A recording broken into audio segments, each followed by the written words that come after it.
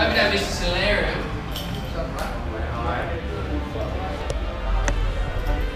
What's up, bro? Oh. You good? happening? Because you're about to start at 45. Yeah, soon. But I just saw like all the equipment came this morning, All right. so we had to like pull it off the street in the city, You did. unload the crates. You caused the ruckus in the city. Oh, and then we had to crack the crates on the street.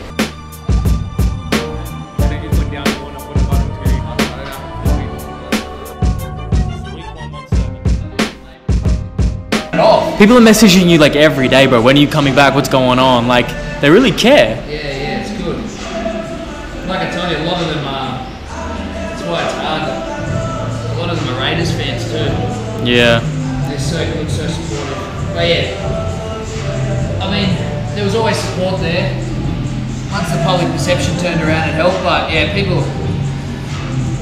I don't know how I will one day, but Try and get there. it'll be important to try and project just how meaningful that is. You know, getting that constant support. Not that I live for it or need it or worry about the negative comments, but Yeah. it's people probably think that when they say stuff like that it goes on deaf ears, but you know it's it's great. It's, you know, I just need to find the right way to project how grateful I am at some point. You know what I mean? lower body session, second session of the week. Um, when I cue my coaching, um, I break down two sessions, a push and a pull. You guys know that, okay? So the first sessions, the first movement is always an explosive movement. I'm not going to go too much detail about programming. I've kind of gone over it as we go on. My first session is always a power movement, so it could be a lift, a jump, a throw. My second movement's normally like a sprinting, high velocity based movement, but I've done more um, Olympic lifting first, and the second movement's more of a, it's, it's, it's not a plyometric movement, it's a jump, okay? So that's my, today we're gonna do a single leg broad jump plus stick. Yep. Trap bar, deadlift, low handles, we're gonna go heavy. Bulgarians, as you know, supplementary, plate push away, a bit of running, accel, decel to finish, okay? We're gonna bit of technique work, lateral speed. I'm gonna show you guys that you haven't seen. It's called one, two stick today. Um, for everyone out there, agility versus change of direction. I want you to remember agility is not running around cones. It's not a predetermined path of movement.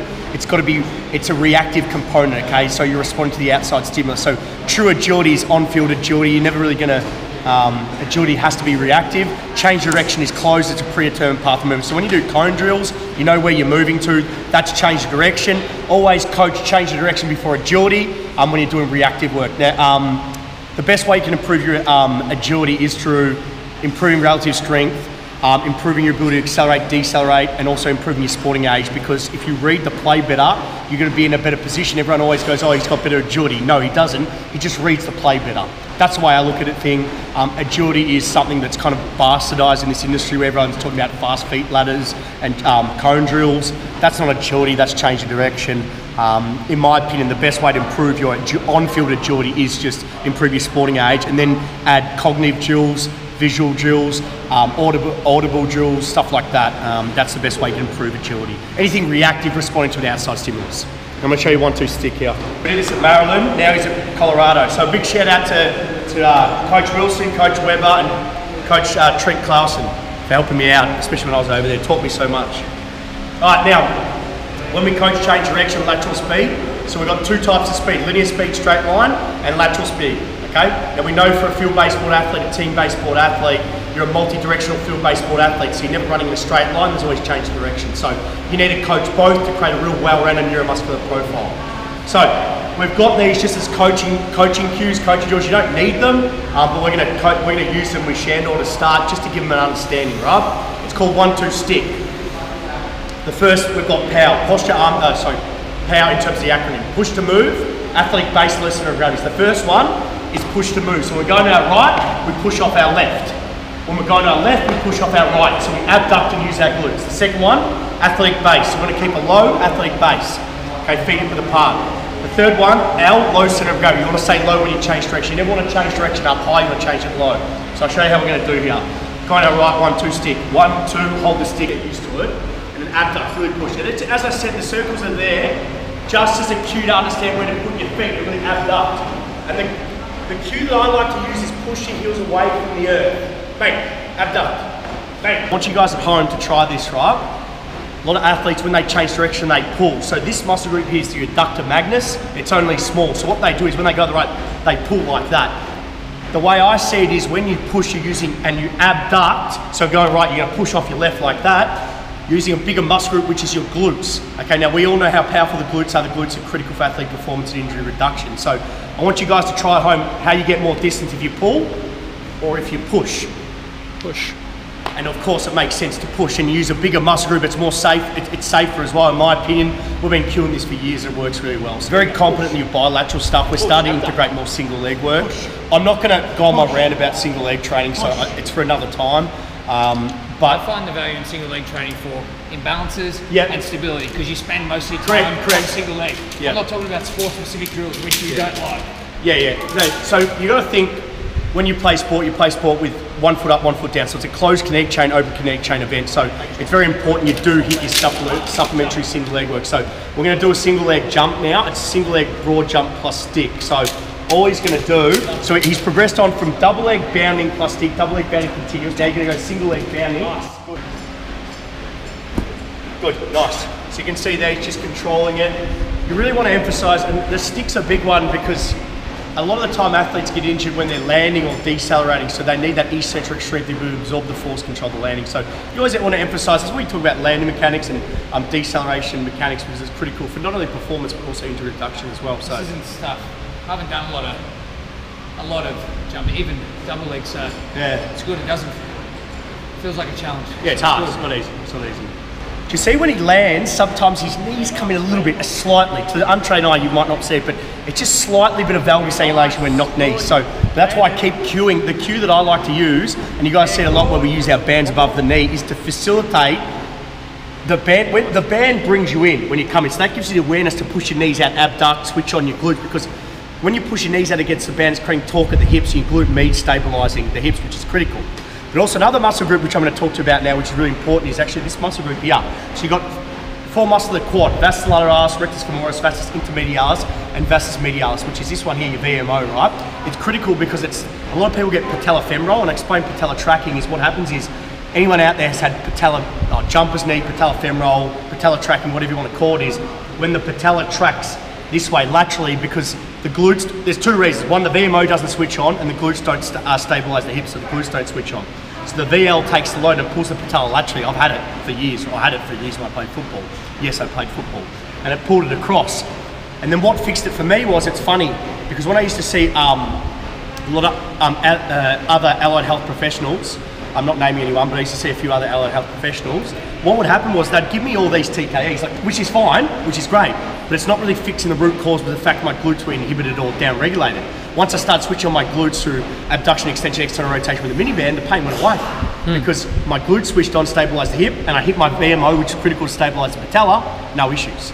Okay, so that's where it's really important to hit those both areas. Hit your VMO, hit your glutes, So how do you see that relating to the jump you just saw? because when he's landing, he's stable and he's landing. He's hardly getting any. Normally, what you'd see is someone who jumps like that single leg, massive instability, then knee would come in, it collapse. With him, you look at his VMO.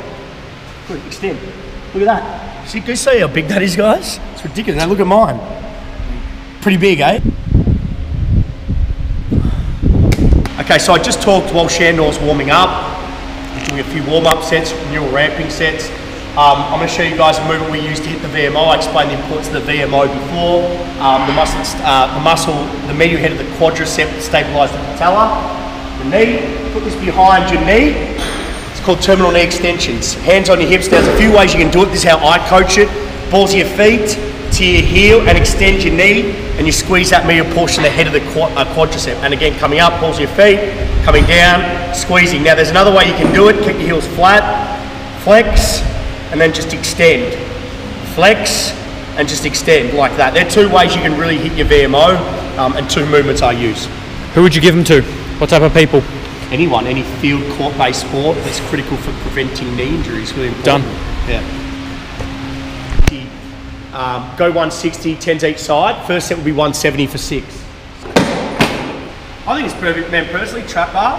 I think everyone should just bring it in as their intro into deads instead of people just trying to Yeah, get agreed. into. Agree. I've said yeah, I've said this. Guys, the, They the should, guy, be, they should be in gyms. guy's been hanging around me a long time. That's right. He's right. He's right though. You're actually 100 percent on the money. What they should be doing is bringing a lot of trap bars instead of people going straight to like a straight bar where they got poor mobility, poor body awareness. Yeah. You can't fuck this hard, up, yeah. man. It's hard, man. Mate, even for I haven't straight. I, I've, you know what I've done with my programming. You've kind of you know got to me with that. I've just trap bar now. I just like it better now. I don't know why, mate. You're right when, when we had, we had a discussion about this. I'm not saying like for everyone out there, like it's not a bad thing. If you want a straight bar, it's up to you. But him and I had a discussion. I just really like it. And you know, to overload, exactly what Shan said. We just flip the handles.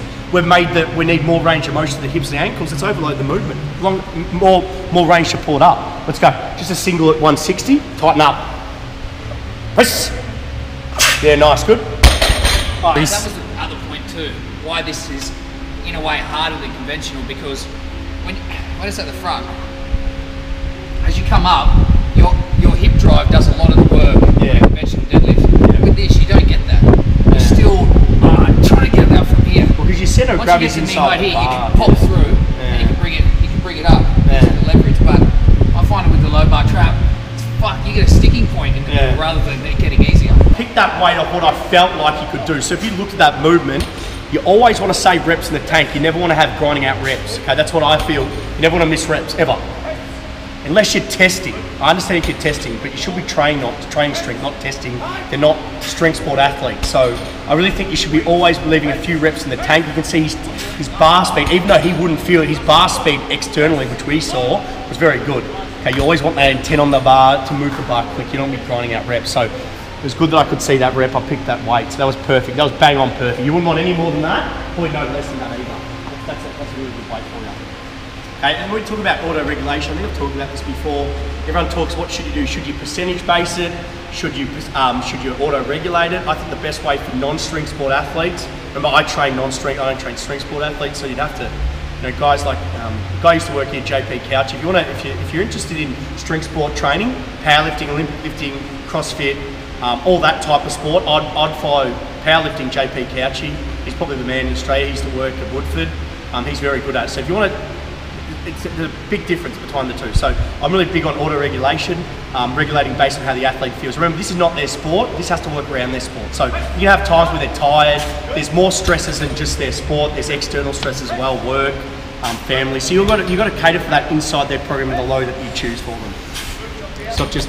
It's really good that you might have a, a certain load predicted for them, but if they, you know, if they're, they've fought with their misses or they've had an issue at a job, that's stress that's built up. So there's you got to understand that that's the art of being a coach. So you can't really learn that in the textbook. You just got to learn by doing it. Yep. Bringing back to injury, this is an important part about injury, right? How many people do you guys know that get injured for you as well and do fuck all? They do nothing. Now I want you to think about it this way, right? Let's say Sandor for two weeks you did nothing, right? You sat on your ass, said, "Nah, fuck it, I'm injured. I'm not going to do anything," right? But what we, what you did, and this is why his attitude's so different to everyone else, and a lot of my athletes like this is you have to keep some sort of load to their body. So when they come back, they're not so far behind. You can't lose steps. Okay, so as long as you maintain it, for him we maintain strength. Because you're not training strength, you're losing it. We know strength facilitates everything power, speed, agility, work capacity, efficiency. So all I did was I modified the lift based on how he felt. And that's what a rehab program should be. So it's very important out there, if you do get injured, don't do fuck all, because you're going to go back, and you, I don't care if I swear with that, sorry mum, but you don't want to do fuck all, you don't want to go back too far, you need to be doing something, if you modified it. What we did with Sandor, he had a little bit of tweak with his hamstring, we modified around his hamstring, Tweak. hamstring, You got him.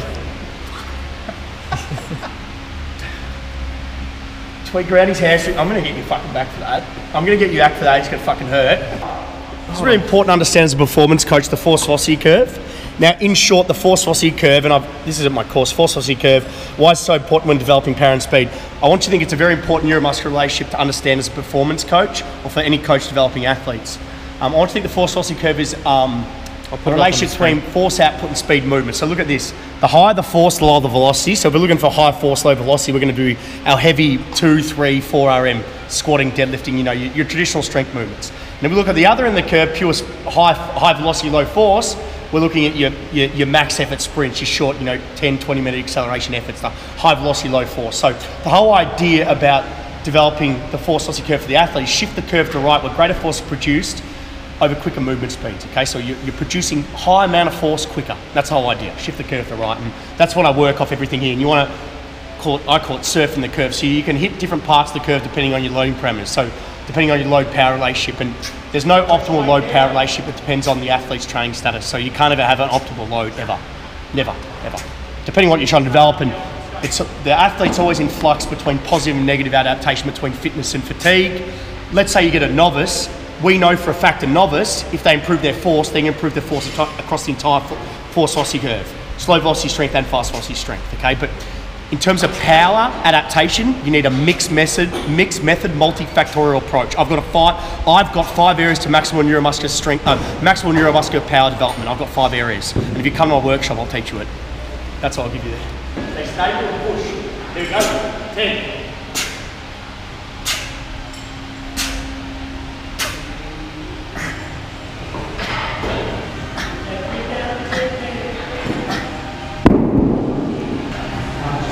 Footy season starts this week. Footy. What do you mean? Rugby league. You call that footy as well? Yeah. Confusing me, man. You watching it? Yeah. It's a lot easier to watch this year. Because you come. Good. Yeah, it would I'm be watching. competition now. I'm interested. Yeah. Yeah, he's scouting. Better than the last last few years. It's been hard to watch. Do you have a favorite besides your hometown that you want to play for? Yeah, I like Canberra, but I suppose I'm interested to watch. You know, Storm, Raiders, any of those teams. I won't watch every game, but it's interesting. To try and force myself to start watching games and thinking like watching players, watch what they do. Yeah, you're scouting. At training, we have actually a good setup. I'm not sure what the system's called, but you can go on and have access to like every play. You can break it down like every time they pick up the ball, every Maybe time they run. You can just watch. 60 for your first So I can set. say Yeah. pick a player and say I want to watch every time he ran the ball, or every time he Well, you can the do that. Yeah, it's a program. That's really pretty cool. sick. yeah, it's awesome. So you can scout your opposition. Yeah, so like that's next level. But Anyone can access it, or it's No, only no, the team? It's at the club. Yeah, you can go in and watch it. Like something I now look back and think could have done a lot more of that. I'm just going to do two sets of um, five, just a few different types of acceleration starts. Yep. So just to promote direct positioning. So whether I off the floor, Yep. falling start, rolling start, just do a couple, five, and have a break. Gotcha. I like it.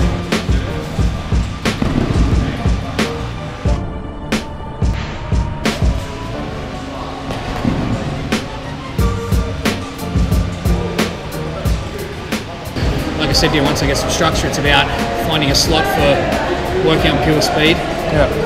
Nailing my gym stuff, and finding a slot for that conditioning. Really, You already have the slot of conditioning though. yeah, You just need but not here. This isn't conditioning. It's a bit of general stuff at the end, you know. But that one conditioning running session, a separate session. Yeah. one sprint session, Yep. my gym sessions. Four time, four gym sessions. Yeah, I mean, I'd love to be doing, I'd love to train every second of the day, but if I have the lifestyle I have, running the business and completing that for the next four to six months, mate, we're, I'm happy, you know? So that's the goal. And then when I get, finally when I get a job after six months, I'll have some cash, I'll be able to look after myself, maybe get a massage. So just quickly, What do we he's, got? ru- he's running late. so he's running late, and he sticks it to me when I'm late. So I'm going to really stick it to him while he's late. You were asleep. How was I asleep? You were asleep when I called you. Wait, and also quickly, I want to I want to poll right now. I want you guys to comment. Do I look like a goanna? Go Anna Woodford. Starting to do my head in because I got a few people messaging me call me goanna. So I want to poll. I want you guys to comment. Hold on. I want you guys to comment. Do I look like a goanna? Because I probably do. So uh, oi oi oi oi, the Chen. Goanna. You don't need to do that, just be normal. No, I don't. I don't have to be normal, but just comment if you think goanna. I just realised I'm head to toe in Adidas. You sponsored? Oh, oh Yeezys. Not sponsored, I got mate. ye old Yeezys. Look at that. No sponsorship there. Look at these socks. Come on, bro. Oi, just quickly. You're waiting if for the Nike wa- contract. You're waiting for the contract to get some new socks. If Nike want to sponsor me, Nike, Nike ain't watching this. No, man. Nike's Nike, not watching. Nike ain't watching this. Wait, who, who was your former um, sponsor? I, I, I've already had um, these guys do it, so I don't care. But if you guys want to sponsor me again, bring the contract. Sponsor the uh, sponsor the, the episodes, the the Yeah, return. oh, actually, if you, yeah, we should get someone to sponsor the episode. Thousands of views right there. Should we get someone to sponsor? Dude, that- this is a serious question as well. Does it hamper you that you got real shit tats and like does that hamper you? Or? Not when I come in and look at yours every day. I, I just always want to know like you got pretty crap tats. Like is there? do something professional for once and actually represent the brand properly. That's right, Stubbs. Can, it- it- it's a serious question though. I'm actually asking a serious question. Serious question. I hate when he gives me shit about my tats. Can you show everyone the party time? That got me. Party time got me. Why- why is Boy, it- look at the king of the jungle right here. Why is it party time? Look at the big scratch. That big scratch. G Wood loves them. Tell ya. Oh, there. oh, Dad, do you like my tats? Oh, there you go.